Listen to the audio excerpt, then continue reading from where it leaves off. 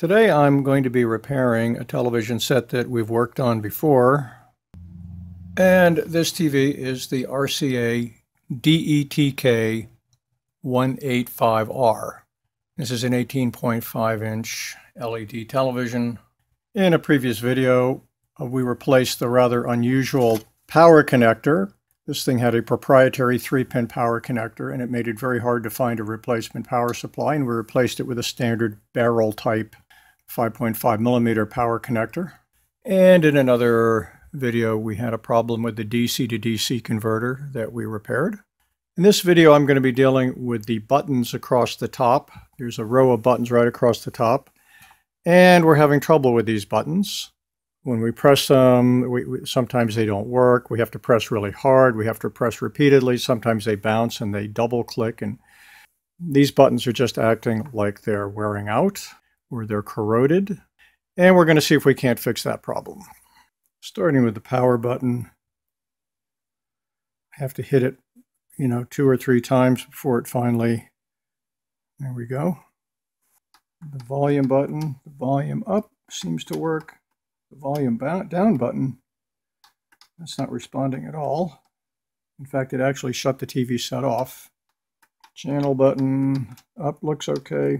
Other way, the channel down button's not working at all. And menu. Menu also doesn't seem to want to work. Source button, I have to hit it a couple times. Okay, so we're having problems.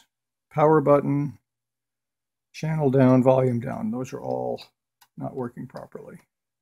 Okay, so we're having a whole problems with several buttons here. So we need to open this up and have a look. First, we're going to take off the stand. It's held on with these four screws here.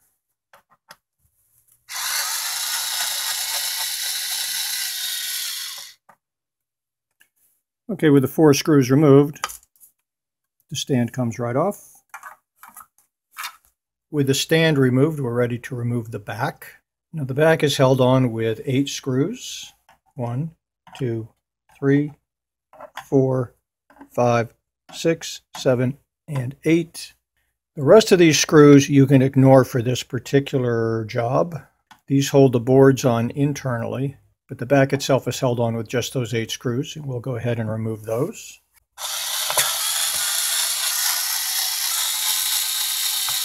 Now that all of the eight screws have been removed, we can now remove the back from the front. Now, in addition to the eight screws, the back is held onto the front by two sets of clips, one on each side. They're located about here and here, and here and here, and you have to basically pry it loose. My tool of choice is a simple flathead screwdriver.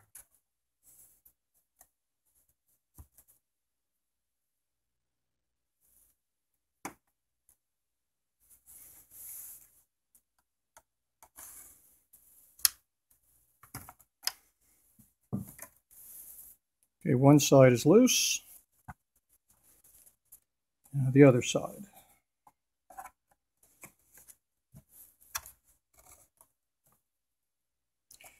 This is coming apart fairly easy, probably because I've had it apart before. If you're taking yours apart for the first time, it might not be so easy. Okay, that's all of them. Now looking inside, we do have quite a few cables connecting the front to the back. We don't have to be really concerned about those.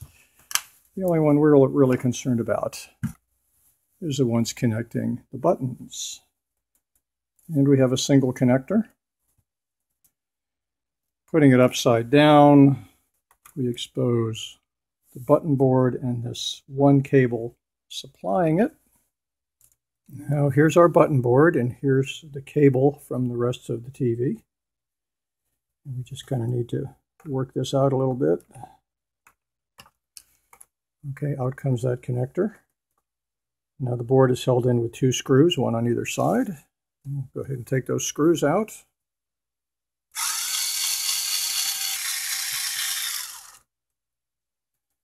Okay, with both of the screws out, we can now remove the button board. Now, it's held in with two little clips in here. You have to sort of work around them a little bit. Bend the button board towards you a little bit. Okay, out it comes. There is the button board. Now there's more than one version of this button board. There's a different version that has two screws in it, like one here and one here. Those screws have to come out. This version, everything's just held in with these little clips. You need to kind of carefully bend them a little bit and get this board out. Okay, I've got them kind of all bent a little bit. And out it comes. Okay. Here is our button board. This is the alternate version of the button board. The connector is located in the middle of the board instead of to the side. And in addition to the clips holding the board into this carrier, it has two screws. So those screws will have to be removed before pulling the board out. However, the buttons on the inside are exactly the same and they fail in exactly the same way. Now, here's our button board on the bench. But we have uh, seven buttons and each one is held on with four points. We know we had a problem with the volume down button and the channel down button and the power button for sure. Now you'll notice some of these buttons actually have rust on them. Now I acquired these television sets from a recycling center and I think these things probably got rained on. And maybe that's one of the reasons we're having so much trouble with the buttons. It's probably a little corrosion on the inside. Now, in your case, you might just have one bad button. These buttons do wear out with time. The ones that are used the most are the ones that wear out first. So probably the power button would tend to go first. And then probably the channel button second. But you might only need to replace one. I'm going to replace a minimum of three.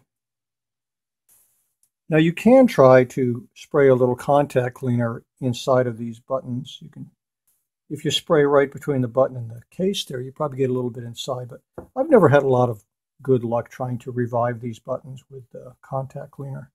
So I'm just going to go ahead and replace them. And you can acquire these buttons really cheap. I mean, I bought a whole bag full of them here for like, I don't know, two, three dollars, something like that. These buttons literally cost pennies. So as long as you've gone through all the work of taking it apart, probably easier just to replace the buttons. That way you know they're fixed. If you go to eBay and you search for 6 by 6 by 5 millimeter 4 pin, you'll come up with dozens of vendors selling these switches. They're very inexpensive, particularly if you order them directly from China. If you order them from a US vendor, you'll get them a little quicker. It's going to take some soldering and desoldering skills to do this, so you're going to need a, a soldering iron and some knowledge of how to use it. I've gone ahead and desoldered the first switch. You want to be careful working around this plastic connector because you can easily damage that. With just a slip of the soldering iron, you can melt that pretty darn fast. Okay, so the first switch has come out. I'm going to use this little plastic micrometer to measure the size of the switch. Six millimeters by six millimeters by five millimeters. Six by six by five. So when you order these, you need to order 6 by 6 by 5 millimeter uh, momentary switch with four pins and flat mount. Okay, I've completed removing four of these buttons. Volume down, channel down. I also took out the menu button and the power button. And here they are. And here we have the four replacement switches, and I'm going to go ahead and solder those in. Now before I solder these new switches in, one thing I do is I, I straighten up these pins a little bit. See, they have a big, they have a bend in them, and that puts a lot of spring tension. On, It, that puts a lot of spring tension between the contact and the hole, and that makes it a lot harder to desolder if you ever have to take this out again. So if you straighten these out a little bit and just sort of take some of that spring tension off of them, if you ever have to take them out again, you'll find it makes your life a lot easier. Okay, I've finished soldering in the new ones. You can see the difference. The new ones are shiny, shiny, shiny, shiny, and these are the old ones with rust on them.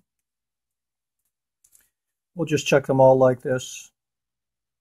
We'll just check all the switches like this before we go ahead and reinsert this uh, circuit board back into the TV. Okay, we're going to go ahead and put the button board back into its little housing here. Get it so those teeth are covering it first, and then you should be able to just pop it right in. Now we put the button board back into the TV. Snap it under those little snaps there. Put our two screws back in. Okay, just screwed in those two screws there and there. And now we connect the connector.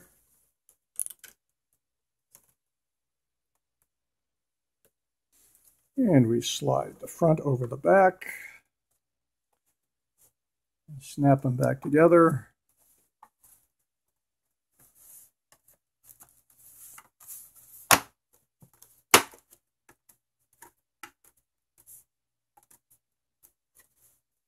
Now the back is snapped on. You just have to put in those eight screws. One, two, three, four, five, six, seven, eight. And we'll go ahead and do that now.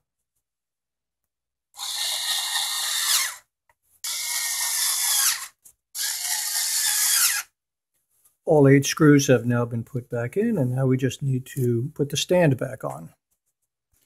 And the stand is held on by these four screws. We'll go ahead and put those four screws back in.